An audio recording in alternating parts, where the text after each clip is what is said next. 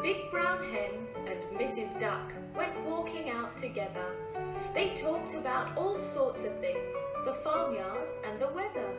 But all I heard was clock, clock, clock, clock, and quack, quack, quack from Mrs. Duck.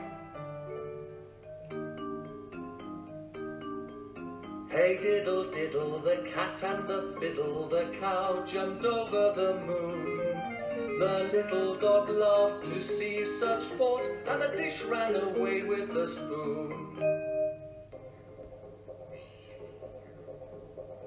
Oh, jumpity bumpity up and go one was lying asleep on his side in the sun. This old kangaroo, he was whisking the flies with his long glossy tail from his ears and his eyes. Jumpity bumpity up and go one was lying asleep in the sun. Jumpity bumpity up. no worries. There was a little dog and he had a little tail and he used to wag, wag, wag it. But whenever he was sad, because he had been bad, on the ground he would drag, drag, drag it. He had a little nose, as of course you would suppose, and on it was a muzz, muzz, muzzle. And to get it off he tried till a tear stood in his eye when he found it a buzz, buzz, puzzle.